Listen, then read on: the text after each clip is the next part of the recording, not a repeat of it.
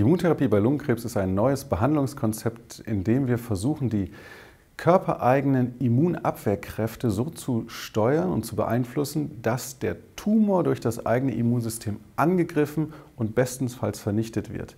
Das braucht ein paar Antikörper, das sind Eiweißstoffe, die letztendlich eine, eine Kommunikation, eine Verbindung, eine Interaktion zwischen dem Immunsystem und dem Tumor unterbinden, indem dort eine Bremse dann inaktiviert wird. Und diese inaktivierte Bremswirkung führt dazu, dass das Immunsystem seiner eigentlichen Aufgabe nachkommt und den Tumor angreift. Und das extrem erfolgreich. Mittlerweile sollte jeder Lungenkrebspatient mit einem sogenannten nicht kleinzelligen Lungenkarzinom eine Immuntherapie im Laufe seiner Patientenkarriere erhalten. Es gibt wenige Gründe dagegen und deswegen ist die Immuntherapie bei Lungenkrebs angekommen und jeder Patient muss zumindest darüber beraten werden, was das ist und wie das funktioniert und erhalten.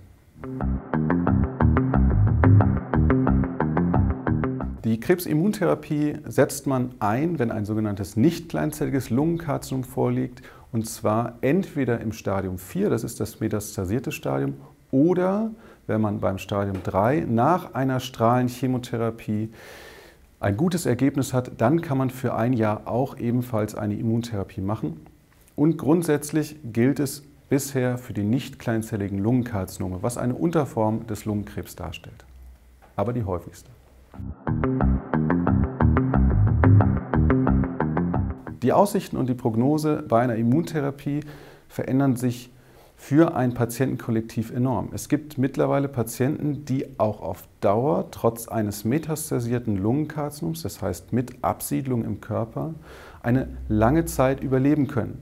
Und diese lange Zeit, die kann sogar über zwei Jahre hinausgehen und auch über die Behandlungsdauer hinausgehen. Wie lange das letztendlich ist, das wissen wir noch gar nicht so genau, weil es auch sehr neu ist.